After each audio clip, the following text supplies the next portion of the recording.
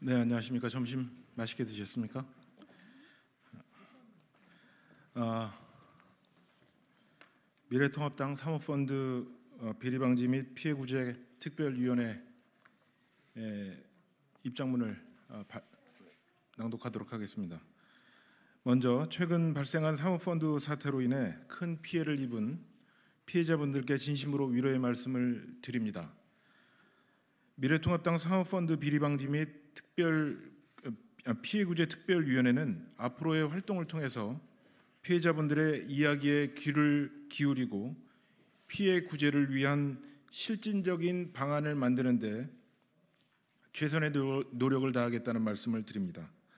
아울러 최근 사모펀드 사태와 관련해서 우리의 입장을 말씀드리도록 하겠습니다.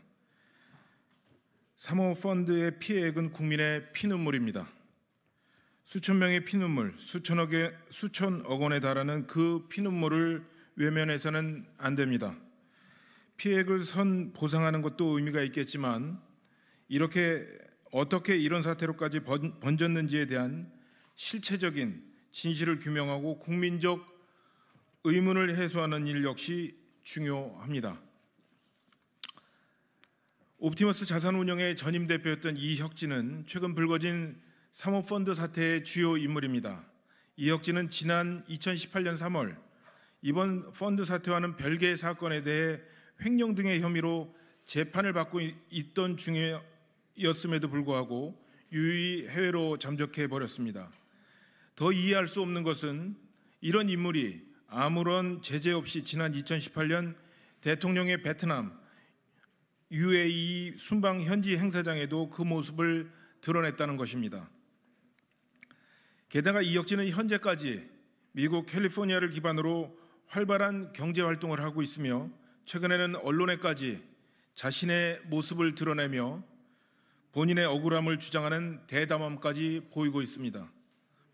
이렇게 이혁진과 관련해서 상식적으로 이해가 되지 않는 상황들이 계속되다 보니 국민들은 세간에 퍼진 이혁진과 정권 실세와의 유착설을 더욱 의심할 수밖에 없는 상황입니다.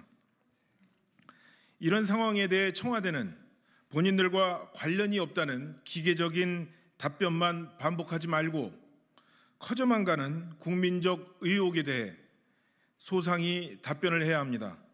그것이 국민에 대한 피해자에 대한 최소한의 예의이기 때문입니다. 이에 우리 특위는 다음에 네 가지 사안에 대해 청와대에 공식적인 답변을 요구하는 바입니다.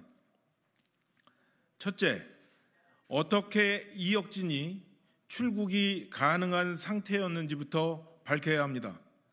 원래부터 출금이 안 되어 있었던 것인지 아니면 출금이 중간에 해제되었던 것인지 어떤 사유로 누구의 지시로 그렇게 된 것인지 답해야 합니다. 둘째, 이혁진이 어떻게 대통령 행사에 참석할 수 있었는지 밝혀야 합니다. 청와대 해명처럼 이혁진은 공식 행사에 참여 대상자가 아니었습니다.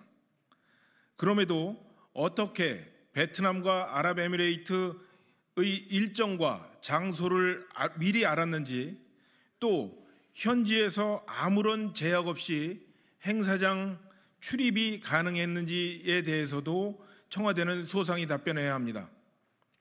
셋째, 청와대의 해명대로 이혁진이 자기 비용으로 현지로 이동을 한 것이라면 몇 월 며칠 어떤 비행기 편으로 베트남과 아, 아랍에미레이 트로 이동을 했는지에 대해서도 소상히 공개해야 할 것입니다.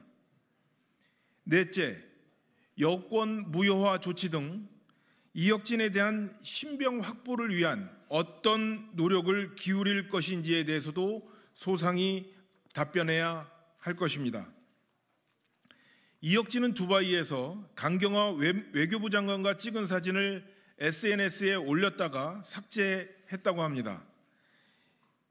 이런 이유 때문에 우리 외교부가 이혁진의 여권 무효화 조치를 하지 않은 것이 아니냐라는 의심도 있습니다. 기소 중지 아, 기소 중지 상태인 피의자 이혁진의 위치는 간단한 구글 검색만으로도 확인 가능하고 언론도 현지로 찾아가 인터뷰를 하고 있는 실정입니다.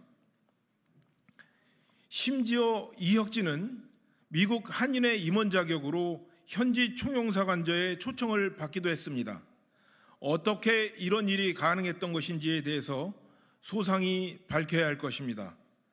이상의 국민적 의혹에 대한 청와대의 신속하고 정확한 답변을 촉구합니다. 이상입니다.